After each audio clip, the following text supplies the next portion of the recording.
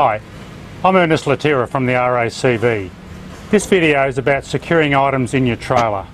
Each year, almost a thousand tonnes of poorly secured items fly off car roofs and trailers onto Victorian roads, causing delays, damage to other vehicles and even injuries.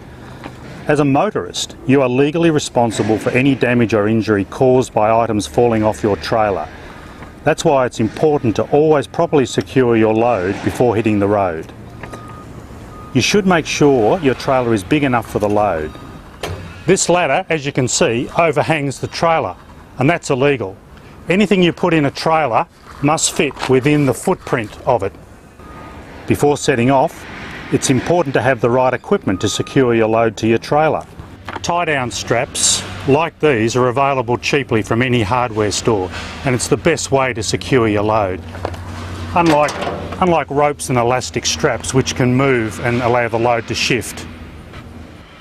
When you're carrying items like this chest of drawers in your trailer, make sure it's hard up against the sides and the front of the trailer and use your straps to pull it down and into the corner check that nothing can actually come out, like this drawer. You might need another strap threaded through to hold it in place. So once you've got your anchor points attached to your rail, you lay your straps over your load, pull it up tight like that, and use the ratchet mechanism to tension it up.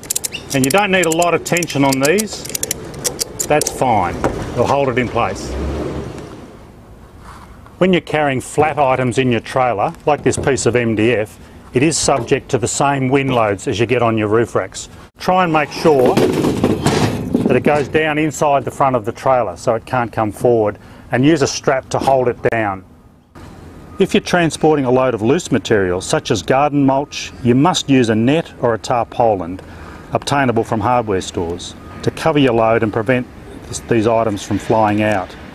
If your trailer is too small, you may wish to hire an enclosed trailer or a trailer with a cage.